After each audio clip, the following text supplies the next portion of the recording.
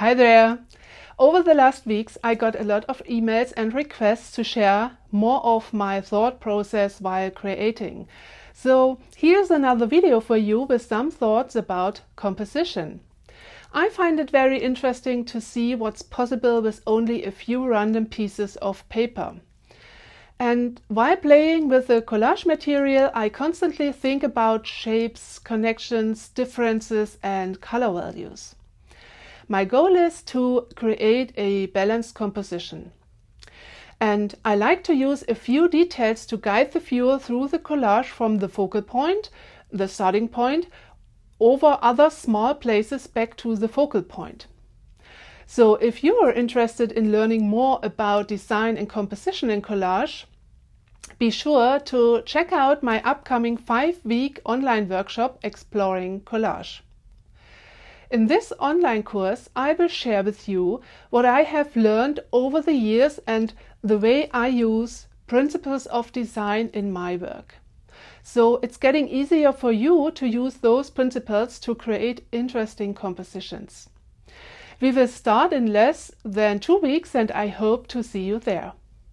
You will find more information on my website. The link is here on the screen. Okay, let's get started with this one. So here's another envelope with some collage material. Let's see.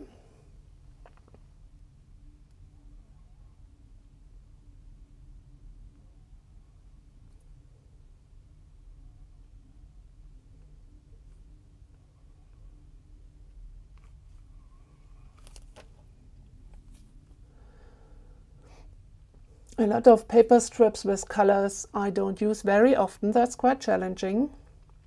The first thing, as always, I try to find a piece which I can use as my focal point for the collage composition. It should be strong enough to catch the viewer's eye. So the piece with the letters on looks a bit different to the light pinky pieces. I think this will work.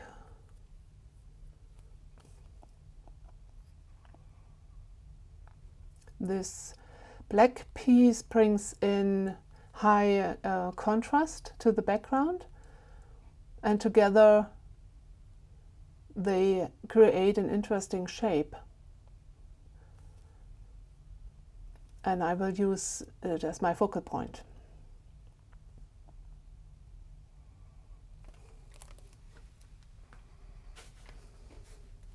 It's not this easy to bring the pinky stripes together so they look like one piece or they belong together.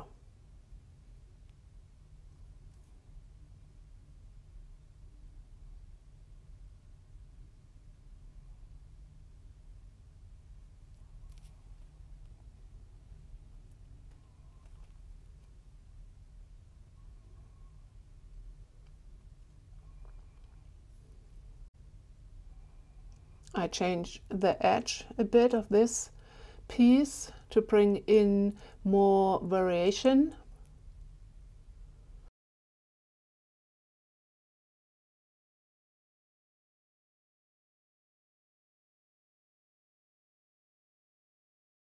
And with this silver gray tissue paper piece, I try to connect the pink shape with the white background it creates a kind of transition between both layers.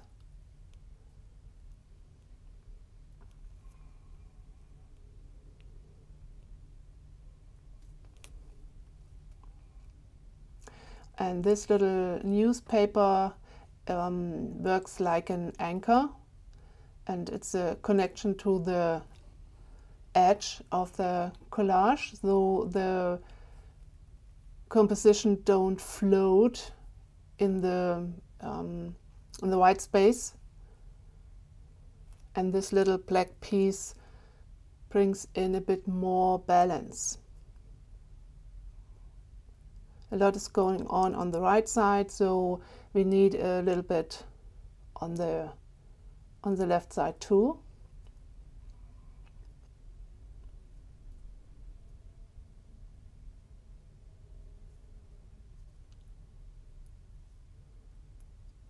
So let's start gluing.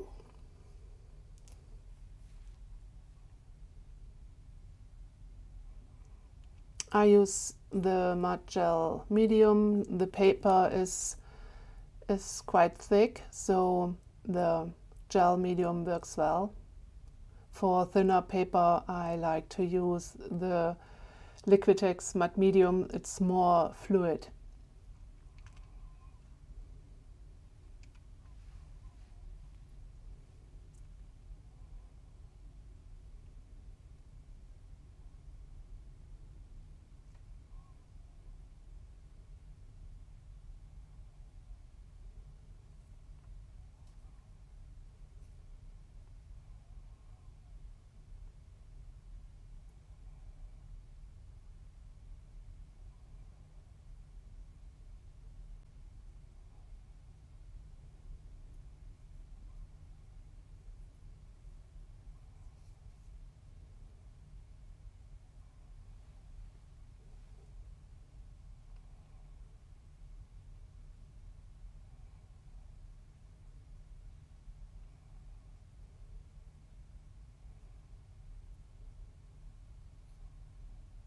Okay, that's it.